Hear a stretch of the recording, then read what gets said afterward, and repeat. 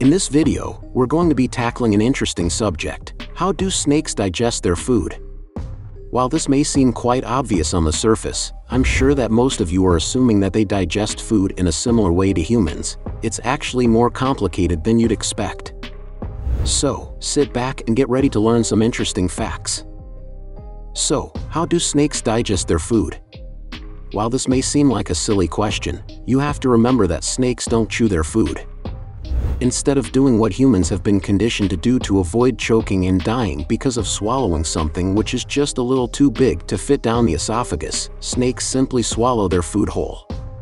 This is something which you've likely seen on nature documentaries if that sort of entertainment is your cup of tea. Now, let's start with their digestive system. A snake's digestive system actually stretches along its entire body except for the end of its tail, meaning that a snake with a length of 10 feet actually has a digestive tract, which, at least, would probably be around 7 feet in length. The stomach, which sits at about a third of the way along a snake, can stretch drastically depending on the species to be able to fit massive pieces of prey depending on the species of snake. This prey could range anywhere from a cute, fluffy rabbit to a deer. I can only assume that the looks on faces of these deer are somehow more startled than the traditional deer in the headlights idea which we've built over time. So, the stomach can stretch to be quite massive to fit the prey, but what next? How does this prey actually get digested? Well, let's have a look at hydrochloric acid. Hydrochloric acid is very strong, and it's actually what mainly composes our stomach acid, too. If you know anything about chemistry, then you're likely to know that it had a pH which is very acidic, sitting at around a level of 3. But, if you also know anything about a human's digestive tract, then you might be a little confused as we've all been taught that stomach acid has a pH of about 2. This is because of some other components such as potassium chloride and sodium chloride, yes, salt and a snake's stomach acid is no different, containing these components along with some others to help with the process of breaking down the food which, in a similar fashion to horror movies, consists of these animals essentially burning and melting while still alive, probably because of the acid. Yes, this topic could be nightmare fuel. Sorry if you have nightmares about giant snakes eating you after watching this video. Now, where does all of the energy which is needed to digest this much food come from? If you've ever eaten a large meal, then you're probably aware of how tired and sluggish you can become afterwards. Well, snakes have an interesting system for this. They direct a lot more of their energy into their heart and circulatory system so that their blood is pumped faster and stronger, which in turn gives them the energy which they need to be able to manage this laborious task of somehow digesting animals which are probably bigger than they are.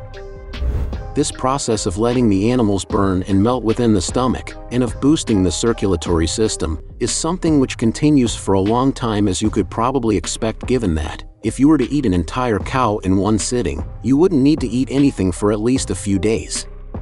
The process continues for several days, usually, but could take anywhere as long as a fortnight two weeks, not the video game Fortnite.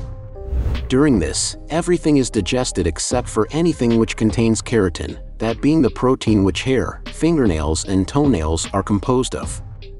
This means that, if you were to provide a snake with a fox, for instance, the only thing which would be left of that fox after two weeks would be its hair and its nails. Scary, right? I almost feel bad for the fox in that scenario, but it's nature, and it's interesting, and that's why you're here following the process of melting the animals within the stomach, much like what happens within the human digestive tract, a sort of smoothie of food begins to move down the digestive tract and into the intestines where the useful nutrients within the food are absorbed into the body via the bloodstream, while the useless stuff move on to be excreted. These useful nutrients include components like protein, vitamins, iron, that sort of stuff, as you're likely aware of already. It should be noted that one species of snake and only one decided to be different to the rest and actually break its food up into smaller chunks to digest at least when it eats crabs. Anyway, I just thought that it would be worth noting as, like everything, there always seems to be an exception, though the large majority, 99%, of snakes do just swallow their food whole instead of chewing it. So, that's the digestive system of snakes. I hope that you've all enjoyed this video and that you've found it interesting I certainly found it interesting to research this topic.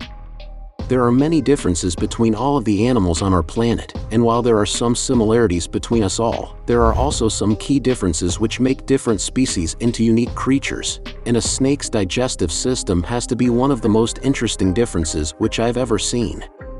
If you've liked this video, be sure to let us know by leaving a like, and make sure to subscribe and to ring that notification bell to be notified of any more of this sort of content when it's released. Leave a comment with any suggestions for future topics, too.